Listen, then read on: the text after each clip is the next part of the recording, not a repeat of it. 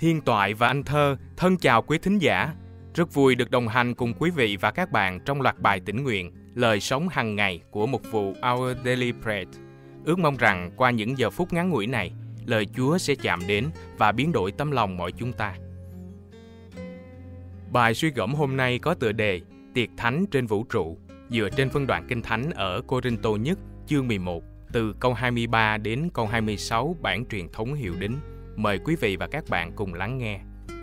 Vì tôi có nhận nơi Chúa điều tôi đã dạy cho anh em, ấy là trong đêm Chúa là Đức Chúa Giêsu bị phản nộp, Ngài lấy bánh, tạ ơn rồi bẻ ra và phán rằng: Này là thân thể ta vì các con mà phó cho, hãy làm điều này để nhớ đến ta. Cũng một cách ấy, sau khi ăn bữa tối rồi, Ngài lấy chén và phán rằng: Chén này là giao ước mới trong huyết ta, hễ khi nào các con uống, hãy làm điều này để nhớ ta. Vậy, mỗi lần anh em ăn bánh này, uống chén này thì rao giảng sự chết của Chúa cho đến lúc Ngài đến. Câu gốc hôm nay được chép ở Cô Ninh Tô Nhất, chương 11, câu 26. Vậy, mỗi lần anh em ăn bánh này, uống chén này, thì rao giảng sự chết của Chúa cho đến lúc Ngài đến. Khi mô đun mặt trăng đại bàng của Apollo 11 hạ cánh xuống biển tĩnh lặng trên mặt trăng vào ngày 20 tháng 7 năm 1969, các nhà du hành vũ trụ phải mất thời gian để phục hồi sau chuyến bay của họ trước khi bước lên bề mặt mặt trăng. Phi hành gia Buzz Aldrin được phép mang bánh và nước nho để dự tiệc thánh. Sau khi đọc kinh thánh, ông dùng những thực phẩm đầu tiên từng được ăn trên mặt trăng.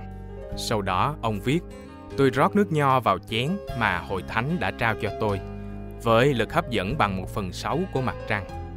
Từ từ uốn lượn và dâng lên trên thành cốc.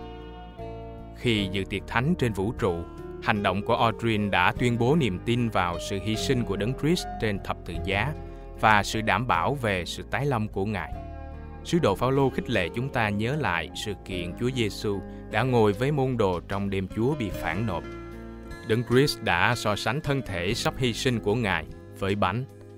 Ngài tuyên bố nước nho như biểu tượng của giao ước mới, đảm bảo sự tha thứ và sự cứu rỗi của chúng ta qua huyết Ngài đổ ra trên thập tự giá. Bất cứ khi nào và bất cứ nơi đâu chúng ta dự tiệc thánh, thì tức là chúng ta đang tuyên bố niềm tin vào sự hy sinh của Chúa Giêsu và hy vọng vào sự tái lâm mà Ngài đã hứa. Dù đang ở đâu, chúng ta cũng có thể bày tỏ lòng tin quyết vào đấng cứu thế duy nhất đã sống lại và sẽ trở lại là Chúa Giêsu Christ. Điều gì ngăn trở bạn dự tiệc thánh trong tinh thần tưởng nhớ đến Chúa Giêsu Christ? Bạn cảm thấy thế nào khi biết rằng một tín hữu đã dự tiệc thánh trên mặt trăng để tôn vinh Chúa Giêsu? Giờ này, chúng ta cùng hiệp ý để thưa với Chúa lời cầu nguyện sau. Lạy Chúa Giêsu, xin giúp con dạng dĩ sống vì Ngài cho đến khi Ngài tái lâm. Amen.